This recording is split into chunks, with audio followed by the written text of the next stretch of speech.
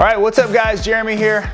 Today I want to explain the difference between the Kawasaki KX450 and the Kawasaki KX450 SR.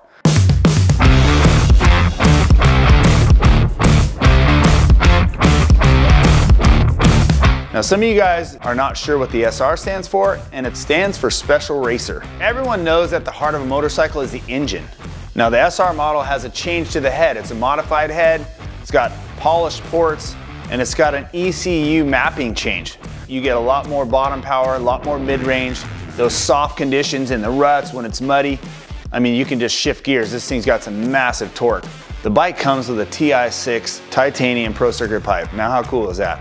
It gives you quite a bit more power. Looks cool, super light, got the carbon tip, feel like a factory rider. I've had a relationship with Pro Circuit like my whole career. That's where my career started. Having a Pro Circuit pipe on your bike gives me confidence. I know those guys. They make a great product, great addition to the bike. All right, another cool feature on the SR model is the Renthal Fat Bar. Obviously, it's got a lot of compliance when the track is rough we have the Xtrig clamp, which has got this split design so the inner fork leg slides really nice, just like the race team. Lots of compliance when the track gets really rough. All right guys, one of the coolest things I think about this bike, the SR model has the 49 millimeter Showa forks with the TIO coating on it.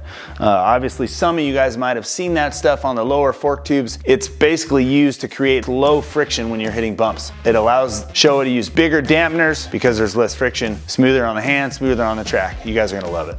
This SR model comes with the DID rims, comes with the gold chain, race model. But what I like about the rims is, you know, you can have confidence if you come up short on a jump or if you jump really long. All right, another added feature to the bike that I really like is the Hinson Billet side clutch cover.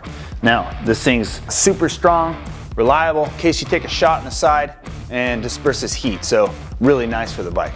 All right, last but not least, obviously the graphics on this bike. Very race inspired, Got the Monster Energy claw on there next to the KX. And you guys know how it is. Look good, feel good, go good.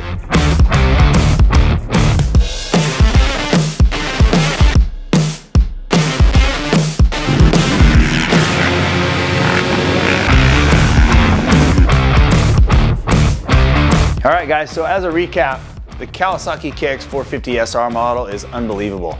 My bike is exactly like this. The cool thing is, I literally slap numbers on this thing and go to the track.